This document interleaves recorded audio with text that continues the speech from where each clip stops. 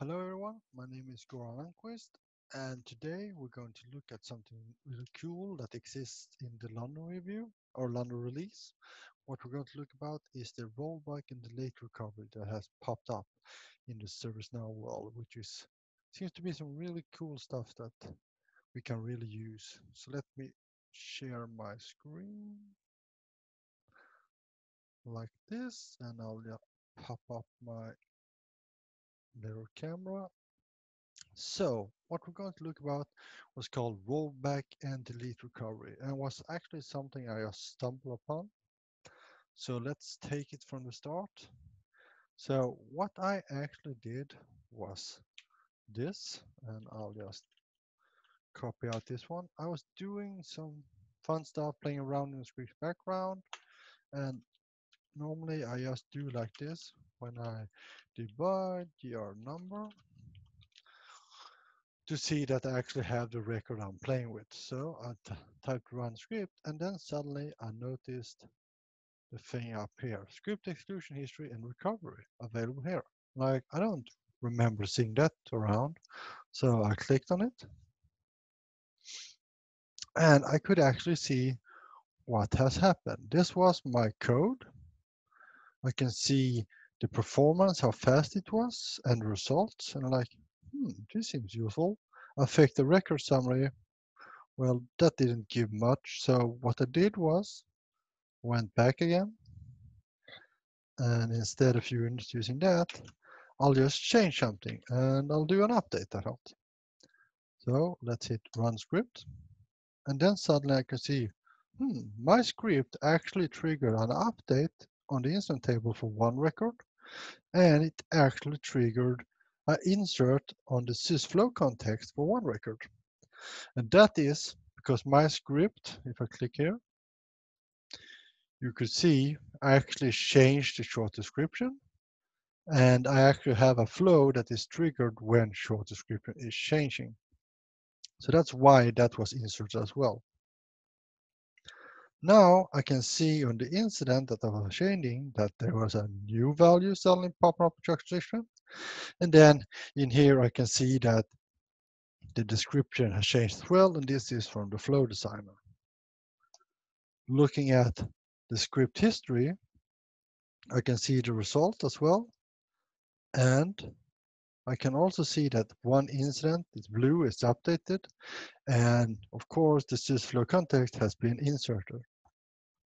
Now, the really cool thing here is that if I would like to roll back these changes that I did with my script, I can actually just click on rollback script execution, type yes, and click OK. Now you can see it's run, it says done. I go back to my incident. The presence doesn't really work, so I need to reload the form.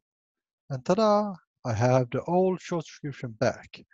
The description doesn't change because that is the flow itself that changed that and not the script which I executed on. The question is, and I should have looked up that before, wonder if the flow context is being deleted. Hmm, let's do it again. Let's go back, run the script. We can see it changed. If I type flows, today's executions, this is probably the one. Let's just look at my watch. Yeah, that is the one. Let's go back, move that one. Let's click on the script's history. One updated and one, and let's roll it back again. Yes. Okay, it's rolling back. Close. I'll go reload my incident. It's rolled back and let's go look. If it's deleted, this context that is created first. And yeah, it's gone. Sadly, it can't revert the stuff that then this one created, which means basically that if I do some changes, that have done a business rule would do some other changes, it will probably not roll back the whole process, but it's a good start. Now, one other thing that this rollback and delete recovery has, besides able to roll back, is that if you type rollback here, you have scripts execution history. You can see I have done a couple of others. Some of them when I was trying to record through Skype, but somehow the video crashed. So this is the second time I'm recording this one. Uh, so you can actually go in and see, okay, what did I do here? And of course, you shouldn't click on the username because you, then you get the user record. Let's hit the script execution record. And now I can actually see the code I was running and it didn't affect any records and so on. If I click on rollback context, I can actually see which rollback has been rolled back and which one is just ready to be rolled back. So you can have a good overview of what's going on.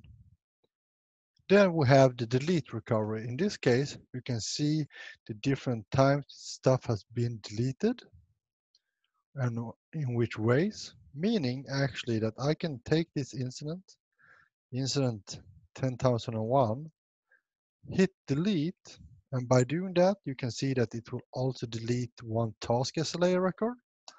I'll delete it. It's that wasn't the best search story, but yeah, you can see it's gone. Now I can actually go to rollback. I can either go in here and try to find it with the right transaction, or I can click on rollback context and easily say, I know this is the one I did, so let's click on that one. I can see here that it actually deleted one incident and one task SLA. Hmm, that's kind of cool. Let's do a rollback.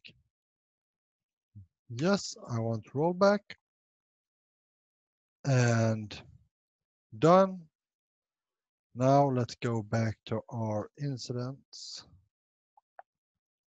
And we're finding 12, and here it is. The top one is back from the dead. And scrolling back, you can see that the SLA is actually back as well. the only down part is I noticed that it will delete the the SLA record first and then the incident record. So while deleting the task SLA record, it actually managed to put in a note in the activity log on the incident that it has been removed. But when I revert it back, it doesn't remove that activity in the activity log. So you might see some strange behaviors like that as well.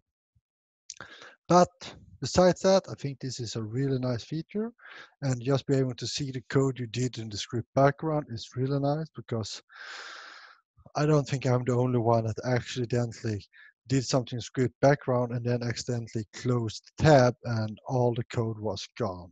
Now I can actually go into the log and see and fetch the stuff, which is really nice. I'll put the URL for the documentation in the YouTube description and I think that's about it. Hopefully you find some other cool stuff in here as well. So thanks for that and see you later.